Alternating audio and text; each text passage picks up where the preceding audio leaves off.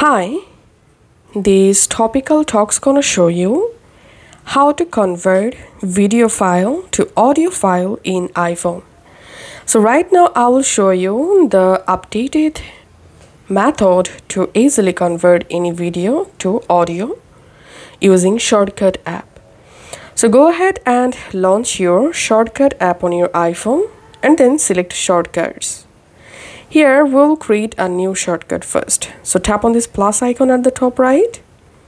Now tap on the shortcut name, tap on rename and I'm giving the shortcut name video to audio. Now tap on done and tap on add action.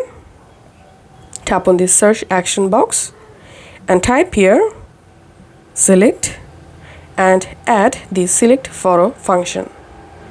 Tap on this arrow icon next to select photos and here tap on include all and uncheck images and live photos and here you have to select only videos and then tap on done and if you want to convert multiple videos then select then enable select multiple option. Now again tap on the search action box. And now type here encode and select encode media. Now tap on this arrow icon.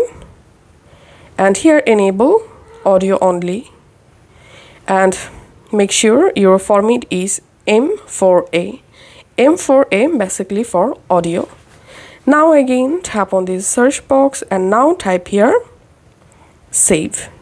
And select save file. Once you've completed all of these steps and here enable ask where to save and just tap on done. Once you successfully created the shortcut it's time to convert video to audio to do that, go ahead and launch your shortcut app and now just tap on this video to audio shortcut. And here you will see your gallery. Now select the video that you want to convert. Tap on done or add.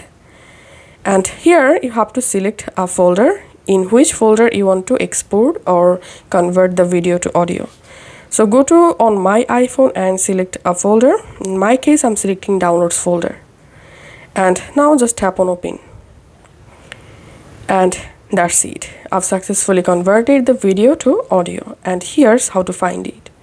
Go to your files app and go to the folder where you just saved. And here you will see the M4A or audio file.